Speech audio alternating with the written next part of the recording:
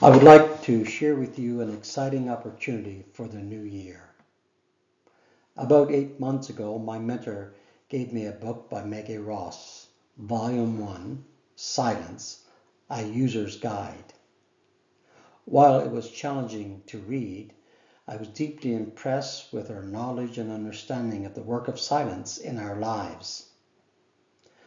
I soon found myself immersed in other books, articles, and interviews. I wanted to introduce this writer to you and felt an online book study would be a good venue. The book I chose is called Writing the Icon of the Heart. It is very accessible and an excellent introduction to her work. I hope you will join me in this adventure. Now for some practical information. The book study will also include meditation. It will begin on January 19th and it will continue for 13 weeks. Now, just a little bit about Maggie Ross. Maggie Ross is a professed Anglican solitaire responsible to the Archbishop of Canterbury she has had previous experience in Alaska and now is based in Oxford, England. A solitaire in this context is someone who lives a monastic lifestyle even though they are engaged in academic work and pastoral work as well.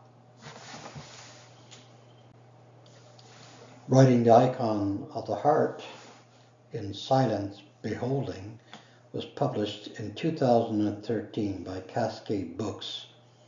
It is available online. Indigo and Amazon are good sites.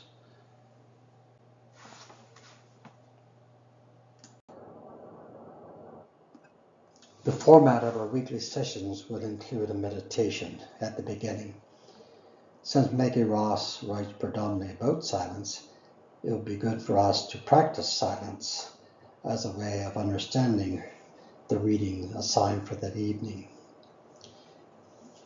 After the meditation, there will be a synopsis of the assigned readings, and then the rest of our time, which will be considerable, will be exploring the text through reflection, questions, and discussion.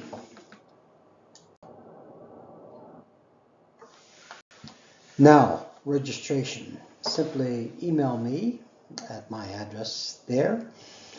And please note that the time will be uh, 7 p.m. Atlantic time. I also have Newfoundland time and Pacific time zone, which is where I live. We'll begin on January 19th, and this slide gives you uh, the pages for that particular night. Please register as soon as possible. The registration will be limited and you will need to get a copy of the book. To conclude, just a few notes. The group size will be limited between 10 to 13 participants. A schedule of the dates and chapters of the readings will be emailed once you have registered. If supplemental material is suggested, I will provide it. The book is available online at Indigo or Amazon and probably other places as well. If you have any questions, please email me or call me. If calling, please remember I live in the Pacific time zone in Canada.